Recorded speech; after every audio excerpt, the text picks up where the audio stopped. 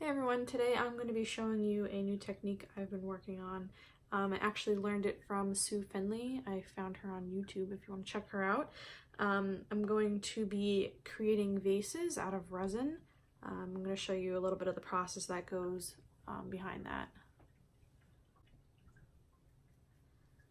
So I'm going to be using these plates. Um, I chose these plates because they have, you know, a pretty significant dip over here that I'm going to lay saran wrap on and that's what I'm going to pour the resin on top of. So I'm just using, you know, regular plastic wrap. Doesn't have to be anything crazy. I wouldn't suggest a dollar store plastic wrap just in case, you know, I don't know how the quality on that is. Um, just want to make sure you have enough to cover the dish.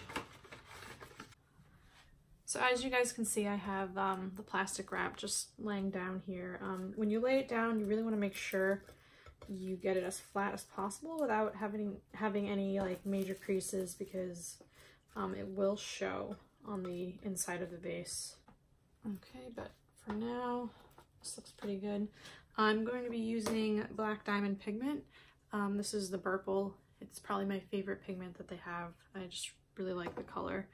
Um, and then I'm just going to be using a turquoise paint and some white dye.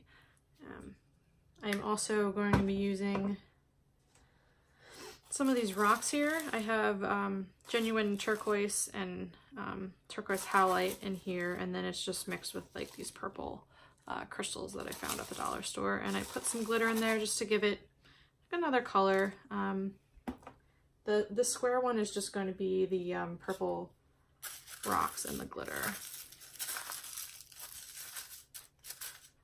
All right, so I'm gonna get started on that.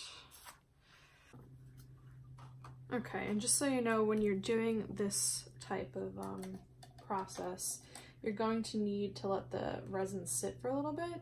Um, obviously, you're not going to be able to shape resin when you freshly pour it because it's going to be liquidy. I usually wait about two hours, depending on how it's curing, and then I'll come and I will um, form it myself, which I'll be showing you guys later on in the video.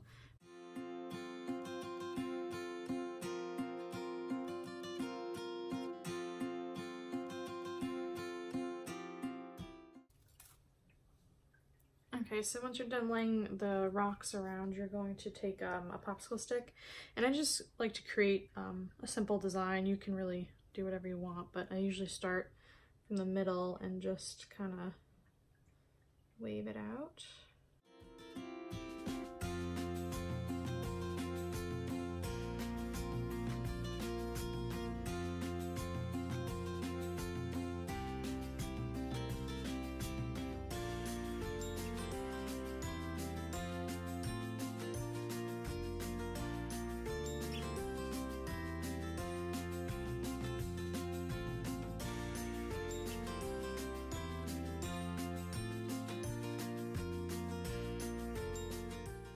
So it is pretty hard to control the design. It kind of just, you know, does whatever it wants. Um, so I'm gonna let this sit for a little bit, probably about two hours, and then I'm gonna come back and uh, see if it's dry enough to um, take off these plates.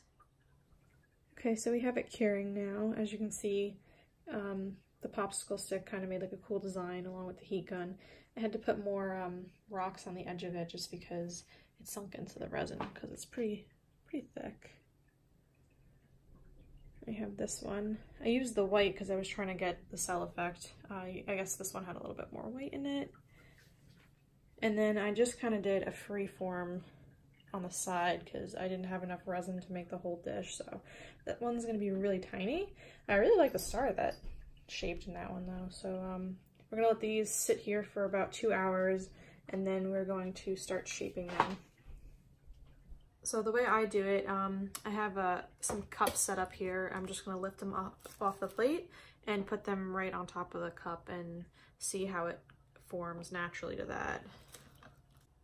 And now you can form them however you want. I'm kind of going for more of like a, a vase look. Um, but you can roll it over something. Um, but this is the way I decided to do it. If you want it to be more open, you could stuff some paper towels in under here. Um, but I find I kind of like it just closed in the way it does naturally. Um, so I'm gonna let this sit here uh, overnight until it's completely hardened and then we're gonna go and we're gonna take off the plastic inside and I'll show you guys the finished results of that. Let me just get you a close-up so you can really see the way that it's shaping. Okay, so we just have the close-up of it.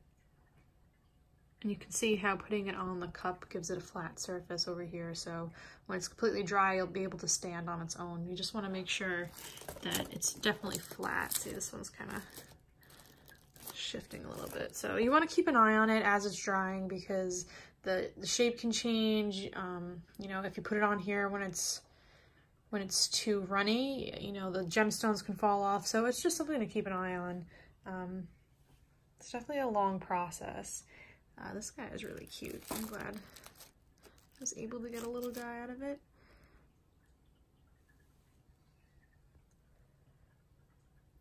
So yeah, I'm gonna let these dry overnight. It's about, let's say, eight to 10 hours, and then um, we'll see how they look in the morning. All right, so I let these dry overnight, and they're pretty solid now. Um, now the next part is trying to take off the saran wrap. Um, sometimes it'll come off pretty easily.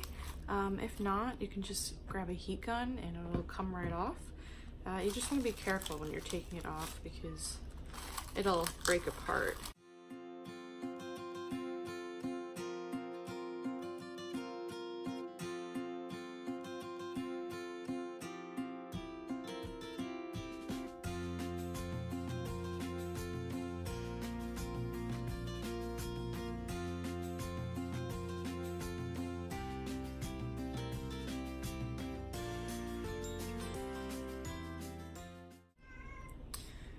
Okay, so if you have any issues with the way that it's shaped, you can also hit it with the heat gun since it's not, it's still, it's dry, but you'll be able to mold it still at this point.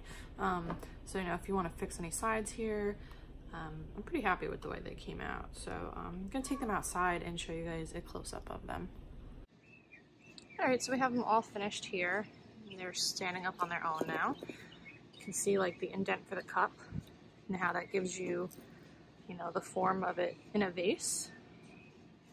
These are close-ups of it. This one's probably my favorite. See, and that's just how the design you're able to get with the toothpick or popsicle stick, some cells forming. Now you can really use these for anything. You can put plants in them, you can uh, put crystals in it, you can use it as a centerpiece on a table. I just wanted to show you an example on the smaller one here. I guess it wasn't dry enough um, and it started to drip on the sides. I think it gives it a pretty cool look though. It's very like oceany. Um, but yeah, that's something to look out for. So if it's doing that, that means that it wasn't 100% ready to be formed. Um, I mean, if you like that look, you can go with it as well. Some crystals might fall off, but you know, it's up to you. And you can really make any shape you want. These are just the shapes I was able to make with cups, so, you know, experiment. Um, thank you for tuning in and watching my video. If you liked it, please give it a like, subscribe. I'll be posting more videos in the future. If you have anything specific you want to see, comment below and let me know. Thank you so much.